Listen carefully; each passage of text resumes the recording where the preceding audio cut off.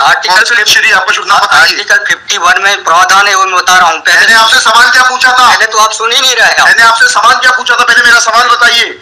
और सवाल ये मैं जो आर्गूमेंट पहले मेरा सवाल का उत्तर दीजिए आप। मैं आर्गूमेंट कर रहा हूँ उसको आप पहले सुने। आर्गूमेंट सुने नहीं सुनेंगे आपका आर्ग्यूमेंट आप सवाल का उत्तर देंगे जब तक नहीं नहीं नहीं, नहीं सुनेंगे। और इस तरीके से अगर आप बहस करेंगे तो अब आप दूसरा सवाल सुनिए उसका उत्तर दीजिए पहले फिर संविधान पढ़ेंगे। कि सर्व आदिवासी समाज कौन है और किसने ऑथराइज किया है आपको ये फ़ाइल पिटीशन फ़ाइल करने के लिए? कहा ऑथराइजेशन पहले ऑथराइजेशन बताइए पिटीशन फ़ाइल करने के लिए। और जरा भी उल्टी सीधी बहस करी यहीं से जेल भेजूँगा मैं। माइंड यू सारी वकालत खत्म हो जाएगी। समझ गए? तजीब से बात करना सीखो। पहले प्रश्न का उत्तर दीजिए दूसरे प्रश्न का उत्तर दीजिए। पहले बताइए किसने ऑथराइज किया आपको पिटीशन लगाने के लिए?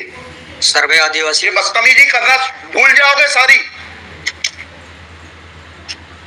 ये बताइए सर्व आदि समाज आदि आदिवासी समाज का ऑथराइजेशन कहाँ है पिटीशन फ़ाइल करने के लिए?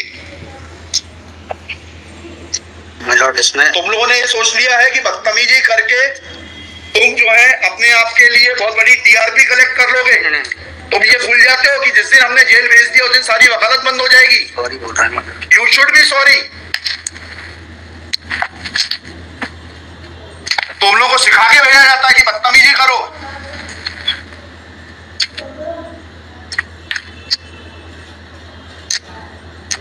प्रश्न का उत्तर नहीं दो और बदतमीजी करोगे।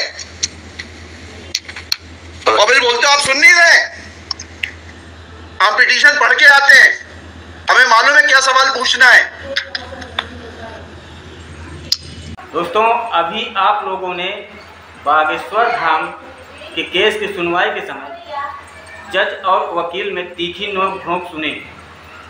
दोस्तों, अगर आप लोगों को ये बहस अच्छी लगी हो तो कृपया चैनल को सब्सक्राइब करके बेल आइकन को प्रेस कर दीजिएगा, जिससे मेरे वीडियो का पहला नोटिफिकेशन आप लोगों तक पहुँच सके, क्योंकि मैं इस प्रकार की वीडियो का आप लोगों तक पहुंचाता रहता हूँ और बना करके देता रहता हूँ।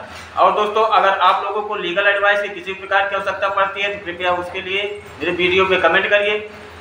और अगर छोटा मैटर है तो मैं उसका सलूशन आपको कमेंट में बता दूँगा। अगर बड़ा मैटर है तो उसके लिए एक वीडियो का पैकेज बना करके दूँगा। दोस्तों वीडियो को शेयर और सब्सक्राइब ज़रूर कर दीजिएगा। धन्यवाद।